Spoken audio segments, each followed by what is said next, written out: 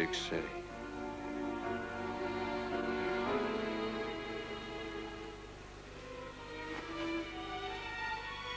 No wallet. Is it too soon to tell you how much I love you? I don't believe you.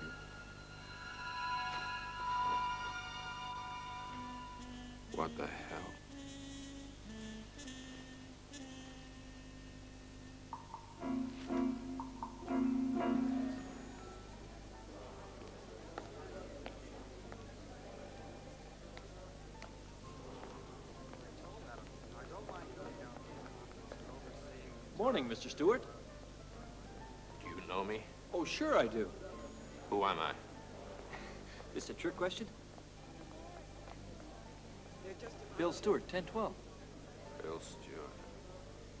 How long have I been here? A little over a week. Are you all right, sir? Yeah. Yeah, right. Who's that? Blonde girl. That's Miss Wilson, 928.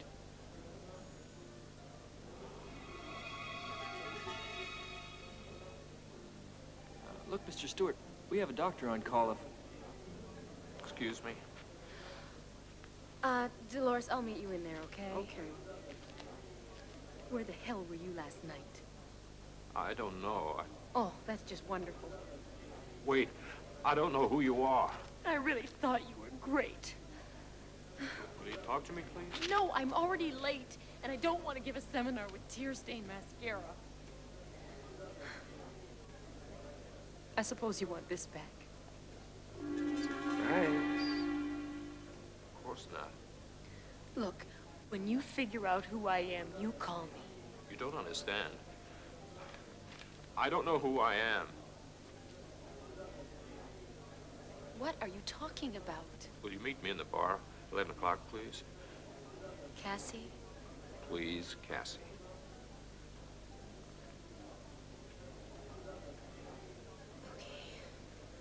I'm sorry, Dolores.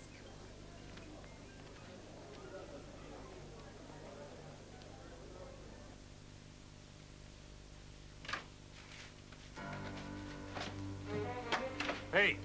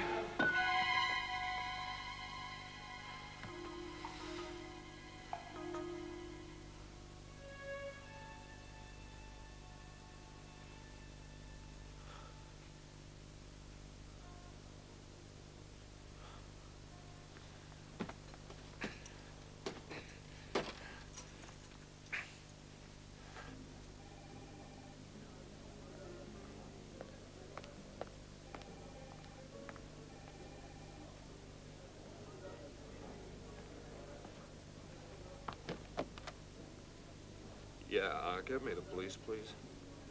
This is an emergency. What's wrong, Mr. Stewart? Uh, nothing. Huh. I thought I heard you call the police.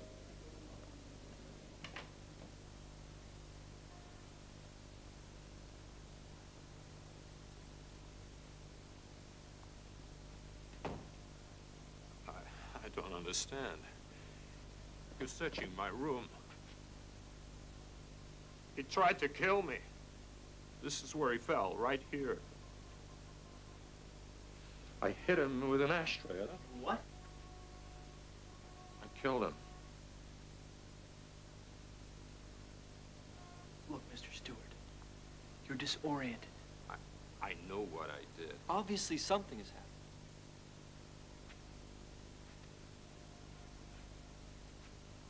Do you know who I am? Yeah. Mr. Kovacs, hotel concierge. Right. This intruder. Do you know who he is? No. That's fine. You don't believe me. Okay. Why don't you try and lie down and get some rest?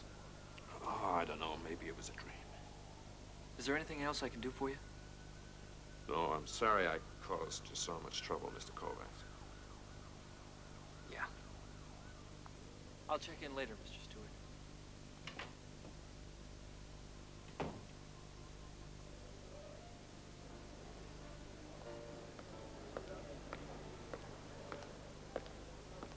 One more box? I'll let you hold that. No. Cassie? Oh,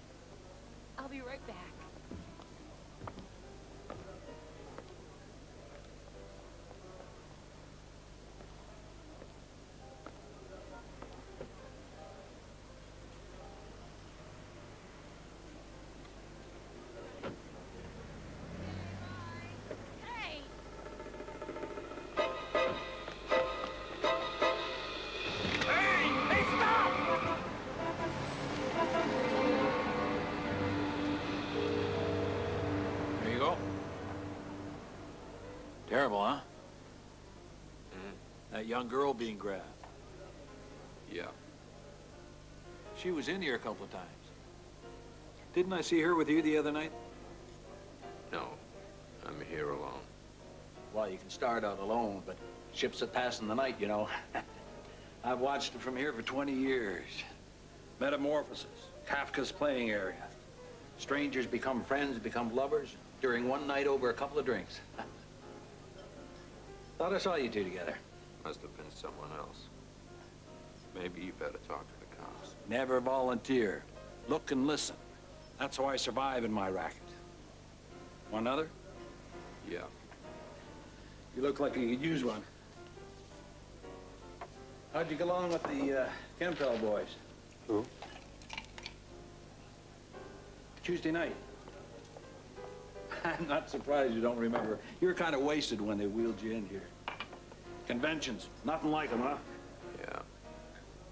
Tell me about Chemtel. Chemtel Industries, one of the largest drug companies in the world.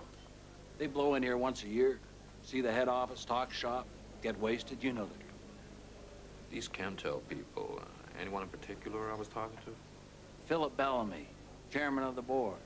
Big money, politics, that sort of thing. He was only in for a few seconds. You two had a few words. What kind of words? Loud ones. You don't remember?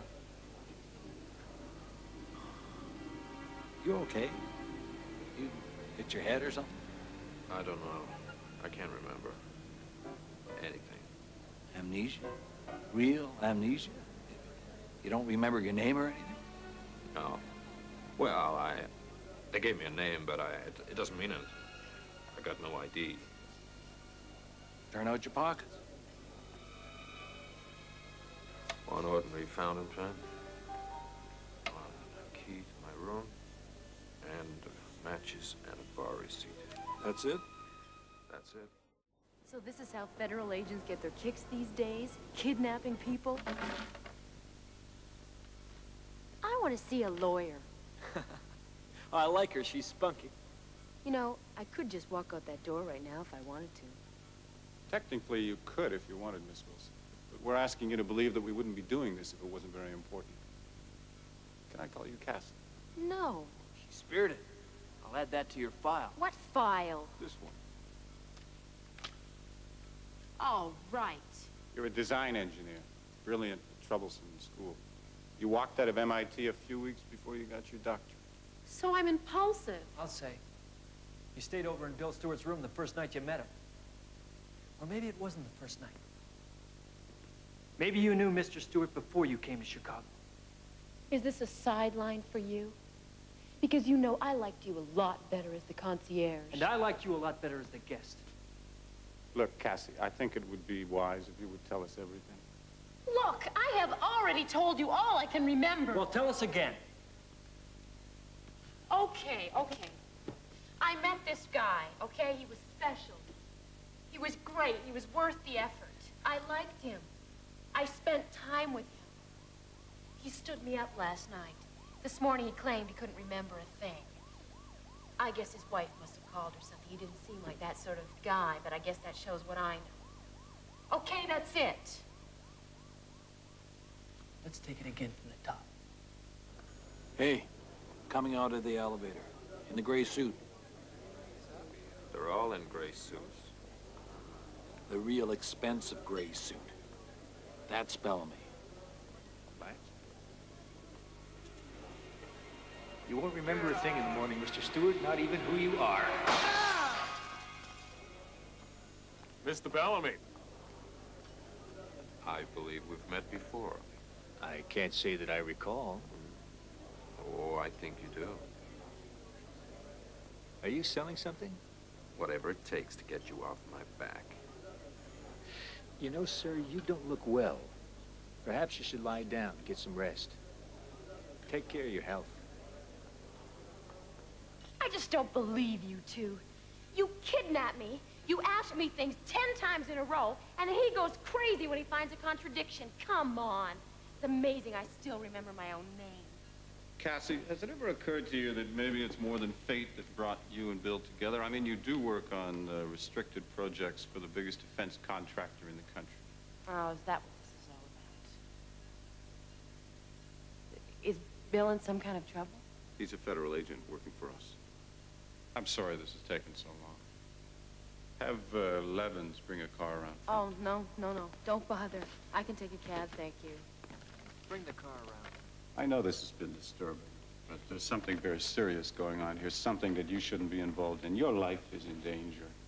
If the other side finds you, it won't be this easy. Look, if, if you guys are trying to scare me, you know, you, you're doing a good job. Just take care.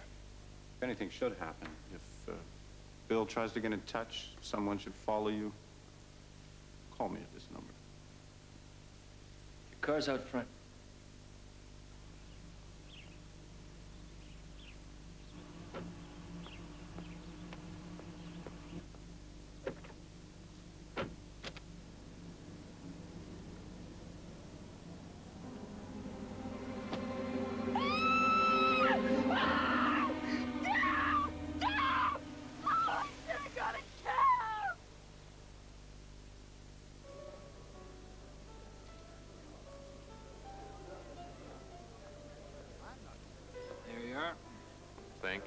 So what happened with Bellamy? Charming guy. What we used to call in Boston, under rock life. Boston, huh? Yeah, Starting to come back, huh? Pieces of your memory? very small pieces.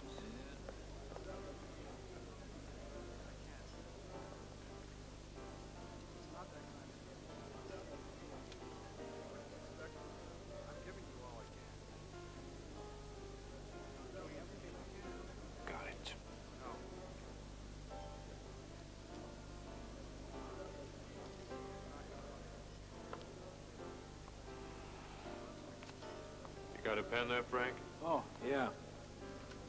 Here. Thank you. What, yours dried up? Yeah. Oh, by the way, someone left this envelope here for you. Who was it? Uh, one of the Kempdell boys.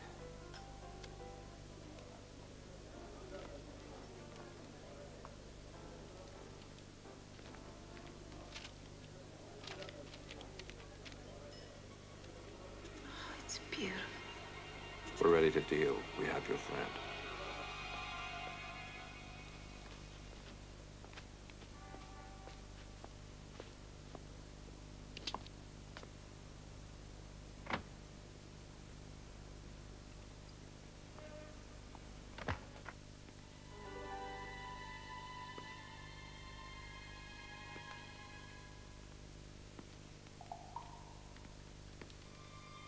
I guess this is your body, Mr. Bellamy. Ready when you are. Drop.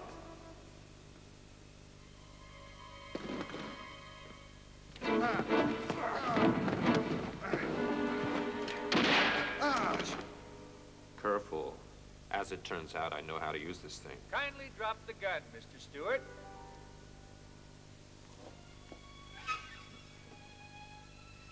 Would you believe that my associate asked for a chance to soften you up a little? Wanted to make up for letting you get away the other evening, but I guess you don't remember very much of that, do you? Enough. You all right? I've been better. Give me the container. How do I know you won't kill both of us after I hand it over? You play a dangerous game, you can't worry about the consequences. What about the consequences of me blowing a hole right through your head? Your call. But if you do, your companion of the week dies. That doesn't bother you at all.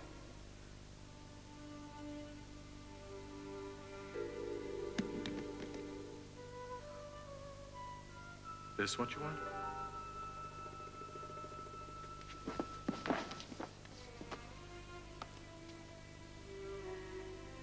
I see. Not supposed to drop this little devil, are we? Well, we didn't think that you'd be fool enough to carry it around outside the containment vessel. Not thinking clearly. That's what happens when somebody scrambles your brain. Cassie, walk right up here. I'll break it, Bellamy. No, you won't. Bacteria will kill you just as fast as it will us. Mm, bacteria. Nice to know. As for killing all of us, well, I don't know who I am, so I don't care. What about her? You care about her, don't you? If you play a dangerous game, you don't worry about the consequences. Come on, Cassie.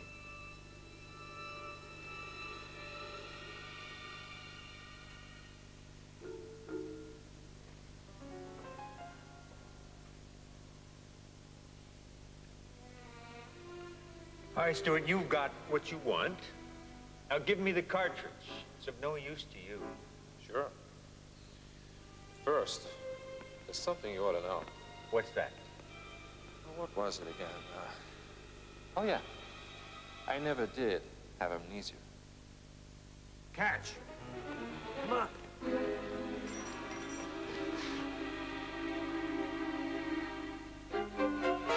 Now, what do you mean you never had amnesia? I broke the needle before Bellamy completed his injection.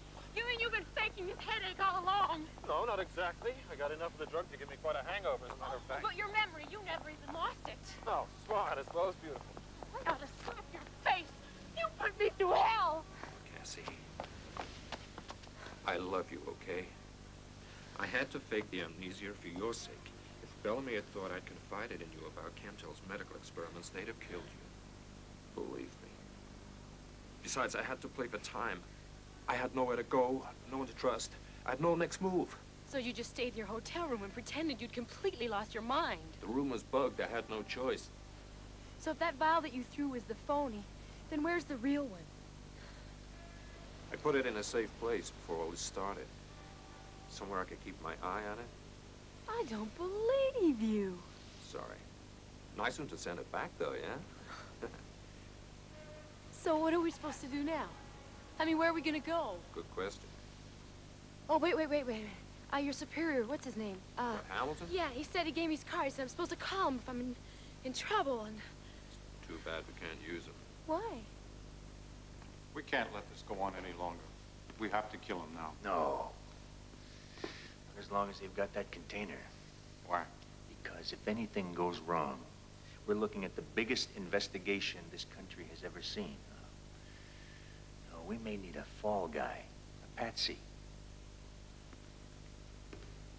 What do you want me to do?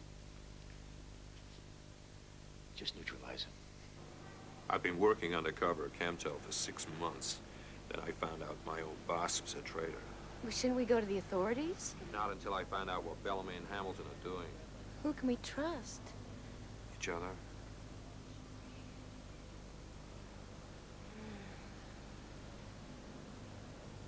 I love you. I don't believe you. Okay.